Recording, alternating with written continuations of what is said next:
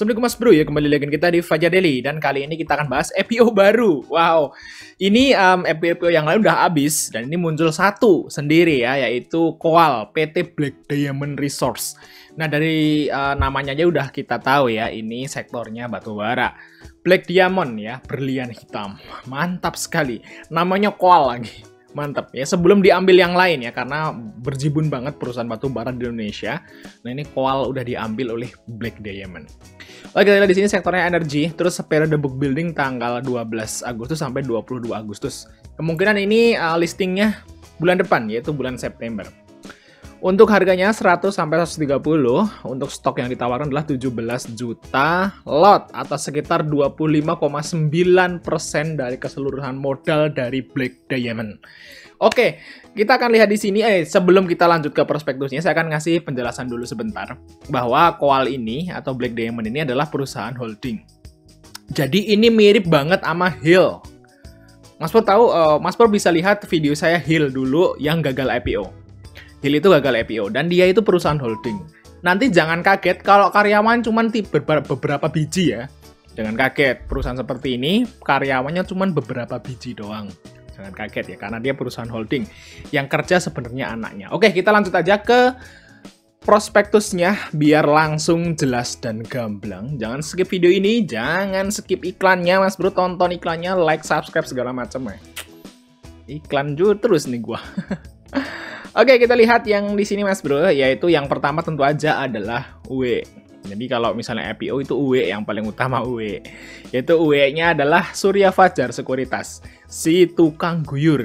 Fada Fajar-Fajarnya kok jelek banget gitu ya namanya. Tukang guyur nih guys. Coba kita lihat di sini ya untuk SF apakah bagus? Oke Mas Bro, kita lihat yang pertama adalah Ibos. Ibos uh, sempat arah dua kali sebenarnya. ya nggak guyur nih si uh, eh, SF dan XA di Ibos ya. sempat nyuanin dua kali lah walaupun papan akselerasi dapat arah dua kali lumayan ya. Dan sekarang juga masih harganya di atas harga IPO karena harga IPO di 100 kalau nggak salah ya si Ibos. Oke, terus selanjutnya adalah saham apa nih? Yaitu NTBK. NTBK apakah dia tukang guyur Nah NTBK sebenarnya cuannya berapa kali nih guys? Cuan dua kali, dua kali arah NTBK ternyata guys. Dua kali arah ya luar biasa. Ternyata oke okay juga si SF ini ya.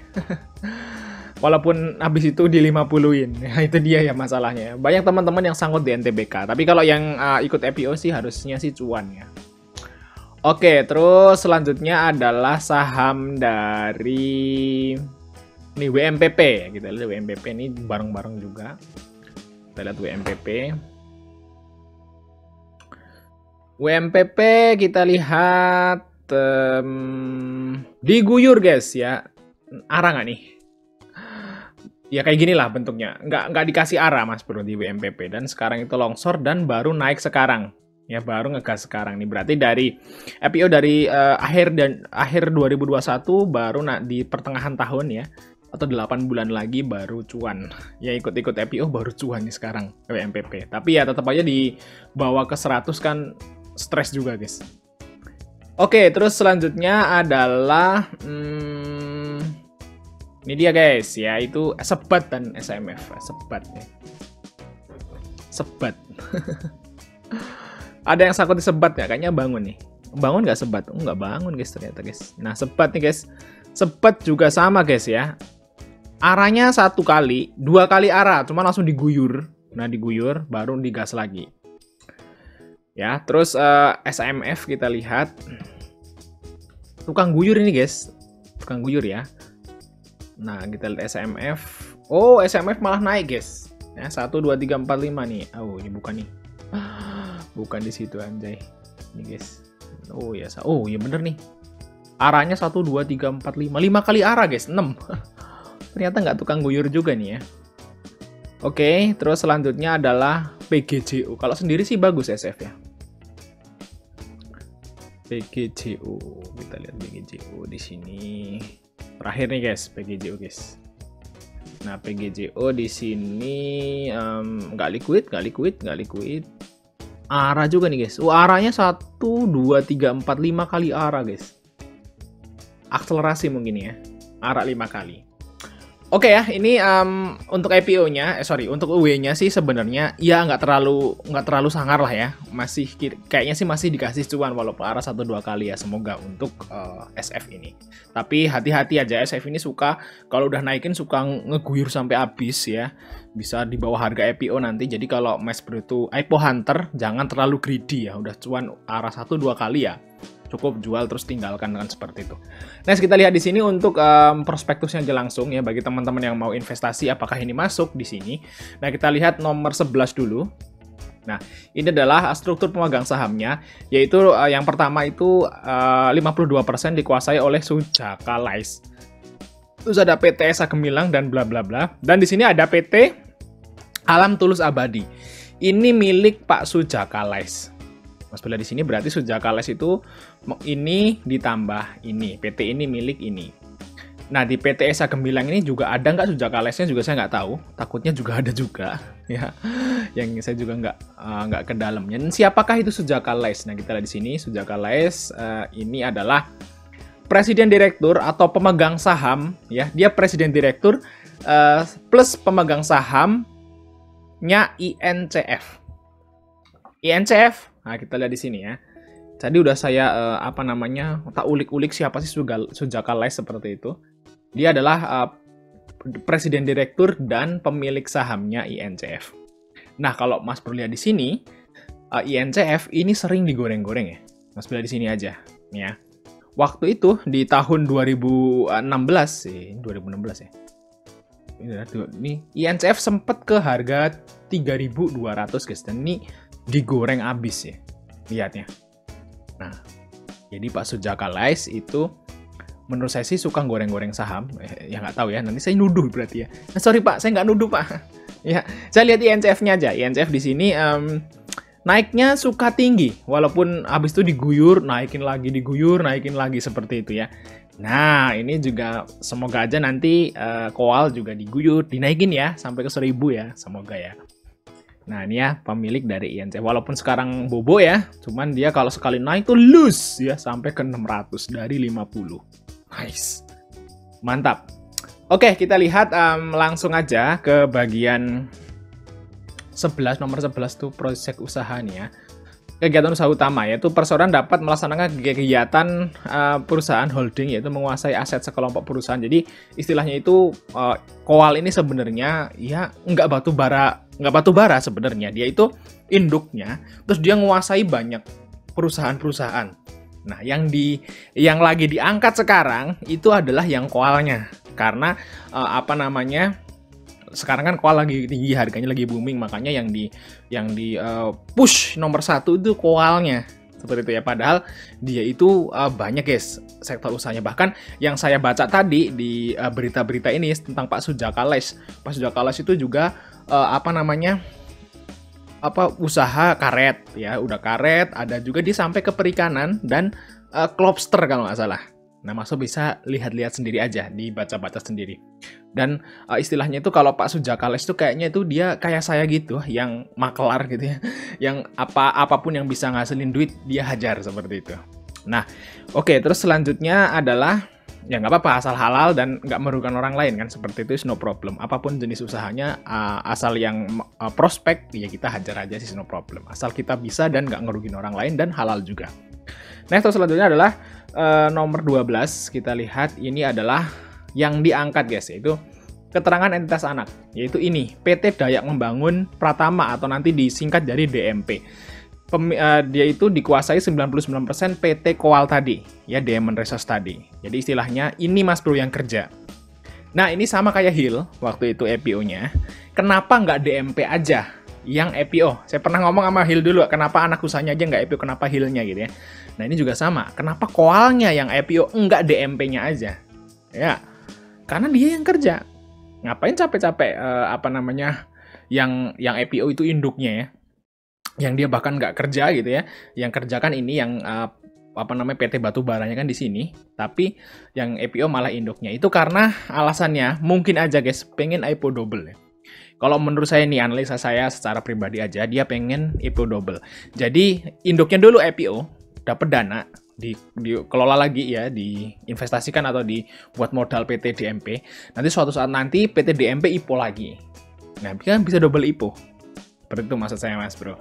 Kalau PT DMP-nya doang dulu yang IPO, terus induknya yang IPO, itu induknya nggak laku IPO-nya guys. Karena kurang menarik. Karena yang intinya anaknya itu udah IPO. Jadi bener, dia IPO induknya dulu, ya, baru nanti anaknya IPO. Oke, terus uh, kita lihat di sini uh, sekit tanggal pencatatannya tanggal 7 September.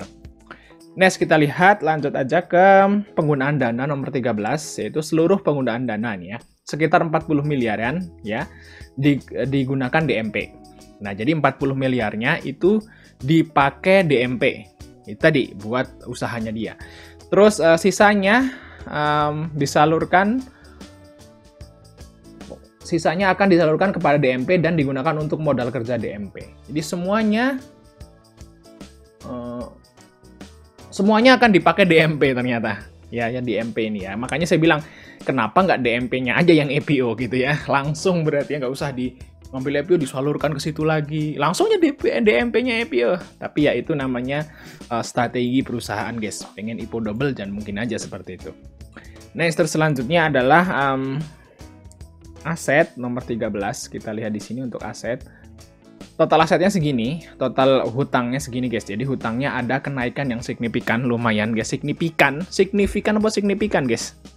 Hutangnya naik terus ya dari 50 miliar ke 118 miliar ke 249 miliar. Terus kalau kita lihat sini juga ekuitasnya naik. Modalnya sebenarnya kecil guys untuk di, uh, PT Koal ini. Tahun 2020 modalnya cuma 1 miliar. 1,4 miliar kan? Seperti itu. Ini kan dalam dalam ribu bener 1,4 miliar. Jadi bikin perusahaan modalnya 1,4 miliar guys. Tapi terus bertumbuh jadi 79 miliar terus uh, bertumbuh lagi jadi 118 jadi modalnya terus naik sebenarnya. Untung berarti PT-nya coba kita lihat di sini ya. Untuk laba laba ini ya laba perusahaan. Kita lihat labanya juga semakin untung guys. Memang bener ya. Jadi eh, kenapa ekuitasnya terus tumbuh? Walaupun modalnya awalnya kecil tapi kalau usahanya bertumbuh kan nambah terus ya. Eh, modalnya kan seperti itu. Jadi equity equity-nya naik terus. Jadi kalau menurut saya sih um, dari tahun ke tahun dia itu semakin bagus ya untuk PT DMP. Nanti kita lihat valuasinya apakah menarik guys. Oh kok DMP, Koal, sorry Koal. Nah kita lihat yang selanjutnya adalah karyawan nomor 61. Nah ini mungkin bagi teman-teman suka kaget nih, oh karyawan cuma tiga gitu ya perusahaan kok karyawannya tiga perusahaan KW-KW gitu ya. Ya, perusahaan holding kan seperti ini, guys. Nggak perlu karyawan banyak-banyak, orang dia cuma di kantor, karyawannya satu dua tiga juga udah cukup. Kan yang kerja DMP. Nah, kita di sini ya. Untuk karyawannya cuma tiga tiga tok karyawannya, guys. Kita lihat sini ya. Perseroan. Ya, karyawan cuma tiga, tiga ya. Berdasarkan nih komisi pendidikan cuma tiga ya. SMA SMA-nya dua, sarjananya yang satu. Udah itu aja karyawannya guys ada dua. Ada tiga karyawannya. Nah tapi Mas jangan salah karena yang kerja kan DMP. Nah DMP karyawan 67. Nah ini yang kerja guys. Sebenarnya makanya saya bilang kenapa yang nggak EPO nggak DMP-nya aja. Oke ya kita lihat uh, di sini nggak ada masalah berarti karyawannya nomor 47. Ada apa nih nomor 47? Muter lagi ke atas. Oh ini struktur kepemilikan Black Diamond atau koalnya guys. Di sini ada Malvin Lace, ada Sujaka Lace. Nah ini ya pemilik saham utamanya, koal. Nah ini 99% dan dia punya PT Alam uh, Tulus Abadi yang tadi juga pemilik uh, koal juga kan. Nah di sini ada PT Esa Gemilang, di sini juga ada Pak Surya Ismail Bahri dan Martin Rusli. Nah ini semua orang yang ada di sini tuh istilahnya jadi direksi, komisaris seperti itu guys. Nah biasanya perusahaan yang pemegang sahamnya itu jadi direksi, komisaris atau ya orang-orang penting di perusahaan tersebut itu biasanya malas bagi dividen. malas deh bagi dividen karena orang-orangnya yang di dalamnya udah dapat gaji kan. Gaji tunjangan gitu ya, komisaris direksi seperti itu. Jadi ya malas lah bagi dividen. Karena kalau dev bagi kalau dividennya dibagi itu kan uh, ke masyarakat juga dapat. Dia dapat memang, masyarakatnya kan juga dapat. Tapi kalau nggak dibagi kan bisa dinaikin uh, labanya terus bisa naikin gajinya dia. Mungkin seperti itu ya. Tapi ya ya gitulah Mas Bro. Mas Bro bisa uh, telah diri sendiri aja. Terus selanjutnya adalah nomor 51 kita lihat ya. 51. Nah, di sini ya, ada Rialdi. Di sini kita lihat ada namanya Surya Ismail Bahari. Nah, yang yang tadi kan. Terus ada uh, ini ya. Apalagi? Hmm. Ada ini, ya mana sih sebentar. Ada ini ya, uh, Sarifah Ainur Jarinah. Nah, ini adalah anggota DPRD Penajam Pasar Utara. Udah habis sih sekarang ya mas bisa bisa baca sendiri aja uh, apa namanya siapa direksi dan komisaris dari Koal ini. Nah kita langsung aja ke bagian um, valuasi ya kita lihat di sini. Kalau kita lihat valuasi guys, itu um, harganya itu 100 sampai 130. Kalau kita lihat di sini untuk BV-nya itu 23. Panas juga ternyata guys. BV-nya itu cuma 23 guys. Berarti nanti kalau misalnya Koal ini IPO terus uh, di harga 100 itu BV-nya PBV-nya udah empat kali. Tapi ini sebelum uh, dana IPO masuk. Jadi kalau dana IPO masuk sih kalau sekitar 25% dan semuanya masuk equity kan berarti nanti uh, kalau harga saham Koalin di 100 berarti BBV-nya mungkin sekitar 2 sampai 3 kali. Ya, kalau nggak arah nanti kalau nggak arah berjilid-jilid ya. Kayak WIRG gitu, seperti itu. Nah, untuk pernya ini yang bagus, guys. Pernya 11 kali. Mantap ya. Price to earning-nya tuh keren ya memang harga batu bara emang di atas ya lagi mahal kan dapat.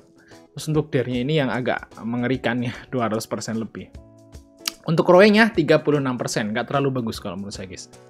Untuk EPS-nya 8 dan kita lihat untuk caps-nya itu kecil sekali, 500 miliar. Kalau di lisas 30 itu 650 miliar. Jadi kalau kita lihat valuasi ternyata nggak murah guys. Harga sahamnya nggak murah, mahal ya. Lumayan mahal karena startnya aja di 4 kali.